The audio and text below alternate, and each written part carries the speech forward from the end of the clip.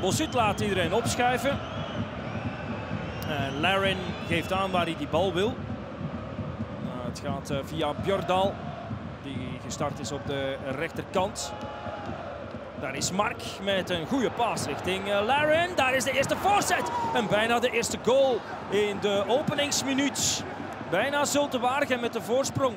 Bruno kan hem niet tegen de netten krijgen. Larin. Overname Kaya. De Camargo. Ah, goed balletje binnendoor. Daar is Van Zer, die moet scoren. En die trapt naast. Een beetje te veel tijd om na te denken. En Bossut die zich goed breed maakte. Nou, dit was uh, heel scherp. En de vlag bleef beneden.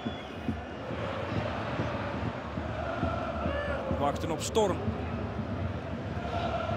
Nicolas Storm met de voorzet. Ah, van Damme kopt hem voorlangs.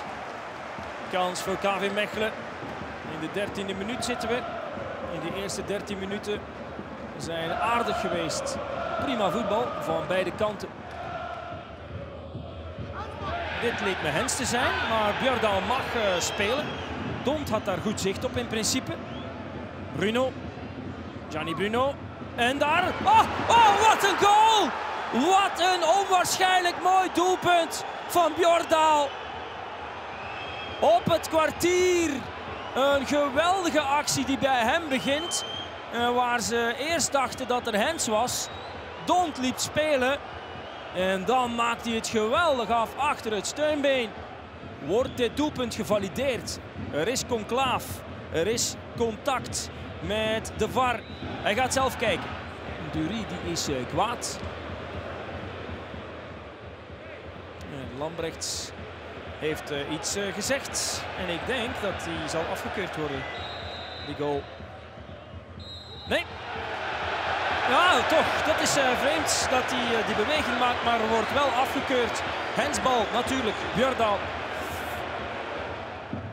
Mensa. Buitenkant. Meegeven door Björdaal. Mensa met de voorzet. Scherp gegeven. Wordt verlengd. Sek er net naast. Nieuwe kans.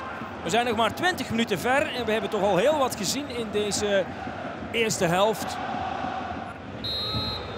Dit is Kaya met de vrije trap. En Swinkels die eerder op de bal is dan Bossut. Maar overkopt.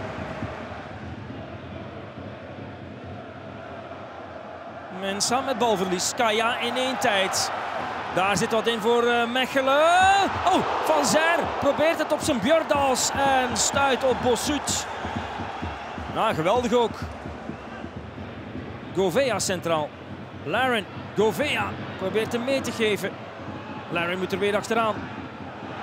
Tackle van, uh, van op de bal. Mensa met de voorzet en binnen. Dan gaat hij toch binnen. Gianni Bruno met zijn vijfde. Stond helemaal in het begin van de wedstrijd klaar om die vijfde binnen te tikken. Maar toen zat er Toelen nog tussen. En zo gaat Zulte Waregem net voor de rust toch aan de leiding. We krijgen de rentree van Gustav Engval. Drie maanden geleden tegen Racing Genk in dit stadion een doelpunt gevierd op de knieën en dan uh, geblesseerd geraakt. Hij vervangt Dante van Zer bij het begin van de tweede helft. Engval met Pletings voor zich. Björndal is de bal kwijt. Engval opnieuw. Schoofs met overzicht. Corijn, daar is Schoofs opnieuw. Moet hem nu achteruit leggen, gaat zelf trappen. En Bossut ligt plat.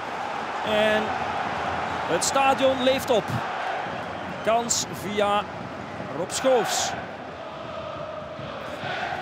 Ja, de fans gaan erachter staan. Achter de kazerne en achter uh, hun uh, eigen ploeg natuurlijk. Het is nodig. Pletings wordt dit uh, duur balverlies. Daar is Engval, die heeft veel moeite en die stuit op de paal. Veel moeite om die bal mee te nemen. Maar het is zijn avond niet. Bij zijn rentree had hij kunnen scoren. En een belangrijk doelpunt had het geweest. Maar het blijft 0-1. Larin Larin blijft in balbezit. Larin. En Toele. Met de benen dicht. Kans voor Zulte Waregem. Nog altijd balbezit voor de bezoekers. Met Govea. Larin nog altijd vrij. Geen buitenspel. Corijn was blijven staan. Even Zulte Waregem met een kans in uh, de laatste 10 minuten van de wedstrijd. Larin meegeven. Sakko meegeven met Larin. Larin door de benen bij Toele. En hij beslist het helemaal in het absolute slot van de wedstrijd. 0 tegen 2. Kyle Larin met zijn zevende van het seizoen. En zo gaat Zulte Waregem met 0-2 winnen. Derde uitwinst voor Waregem dit seizoen. En KV Mechelen kan al drie wedstrijden niet meer winnen in eigen huis.